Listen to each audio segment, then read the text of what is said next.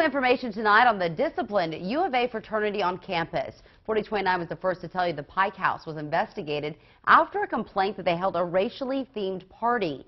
The university has suspended the Pi Kappa Alpha House in the past.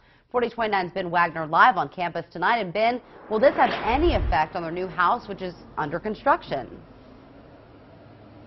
Well, Angela, the short answer is no. The national chapter and the university say that the construction going on behind me will resume as normal, but the university says that incident where they held a, uh, an alleged racially themed party could have an impact on money coming in.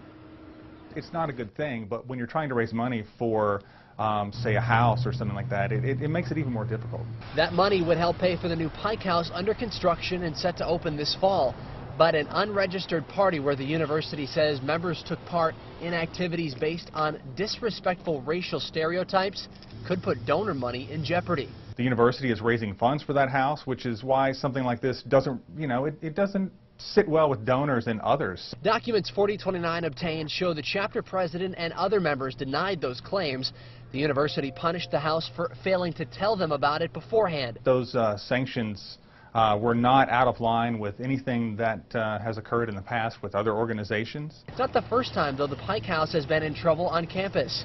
In 2010, the university says the fraternity was in trouble for getting into a fight with another fraternity, but it's the only incident in recent history.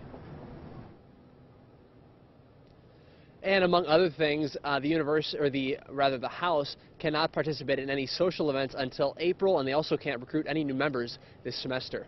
Reporting live in Fayetteville, I'm Ben Wagner reporting 4029 News. Okay, Ben, the National Pike Organization just sent us a statement saying the Pi Kappa Alpha International Fraternity does not discriminate on the basis of race, color, creed, national origin, disability, sexual orientation, or religious affiliation.